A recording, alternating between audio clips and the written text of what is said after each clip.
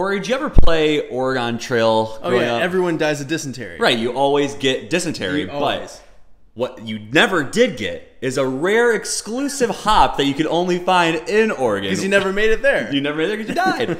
but this beer is Hoptical Illusion with a touch of an ultra exclusive rare Oregon hop.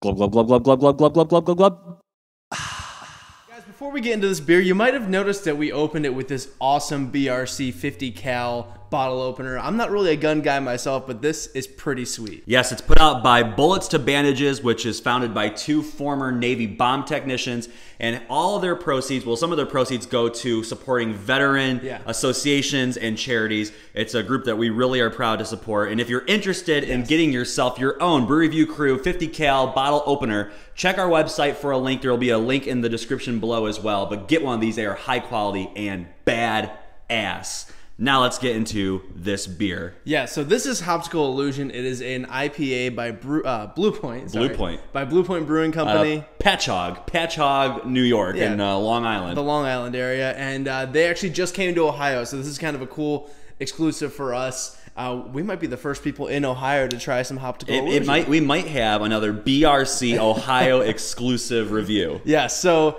uh, this one's actually made with a hop that comes from an Oregon family farm. It's a small farm. They bought the entire crop this year, and we're excited to see what they have to offer. Okay, So, well let's go ahead and uh, dive in. yeah, just it, it smells really sweet and nice, uh, pleasant, a little tropical fruits going on. I get a lot of like citric, Yeah. orange, tangerine. A, a new kind of like orange I just discovered a kumquat, which is a little mini orange. Okay, So I, I guess I get a little bit of like a dank aroma too. It's a little vegetal, Yeah, a little, little musty. a little musty. Uh, kind of like those New Zealand type hops going on. Yeah, I mean, I think we can put our finger on a few of the hops. There's a blend of hops, but that one's just rare and exclusive. We'll never know. Yeah. So let's uh, let's go ahead and dive in. All right. Cheers. Cheers. It's really dank and really resinous. It's got this cool, almost piney flavor, but it's just earthy. Good earthiness. It's got a really nice lingering bitterness to Yeah. it. Uh, it's not as in your face up front, but it comes in at seven percent. So I mean, we're borderlining double IPA Yeah. range here, and uh, I think you get that towards the back end of it. I think this is more of kind of like a, a slow release IPA. Mm-hmm. Yeah. Like you get more as it goes. it reminds me of a little bit of like either Stone IPA or uh, the Enjoy By series because Mm-hmm. it just has.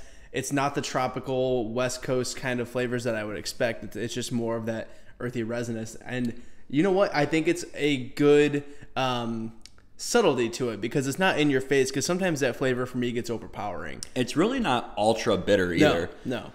I'm wondering, you know, with the with the higher ABV, it's probably balanced out pretty well by a pretty strong malt backbone. So it's probably calming things down a little bit in at least bitterness and adding a little bit of sweetness to it.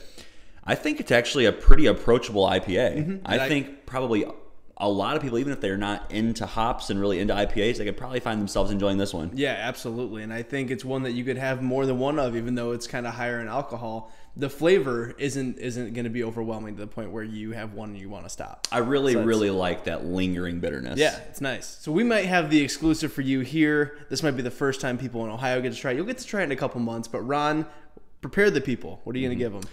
I'm gonna give this one like an 88, 89. I think a high B plus, Yeah. borderlining on an A minus. I think it's really, really approachable. Nice, clean IPA. I do wish it was just slightly more bitter up front, Okay. just to give me more of a hot punch. I really like kind of like the backswing, but I want a little bit more up front. But really, really good. I could drink many of these. Yeah, I think drinkability is the key here, and for that, I'm actually gonna go just a point higher and go 90. Uh, I was thinking right on the A minus range too. Uh, I love the drinkability of this. I don't think it's overwhelming in any way, and I think that the hop flavor, even though it's not my thing, it's still approachable to me. So that's that's you know kudos to you for being able to do that with a with a profile that's not really my favorite.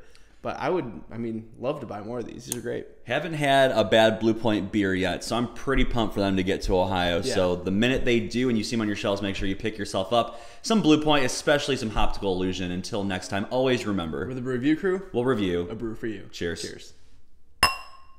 Hey guys, if you didn't know, we have a brand new podcast, Brew Review Crew on tap. Go to brewreviewcrew.com backslash iTunes to check out that podcast today. A new episode's coming out on Friday, but why not go back to just past Friday and check out our last episode? You can also find us where, Corey? You can find us on Facebook, Twitter, uh, Google Plus, YouTube, everywhere. I mean, Instagram. Instagram. We got everything. Make sure you find us, share us with your friends, and as always, enjoy. See ya.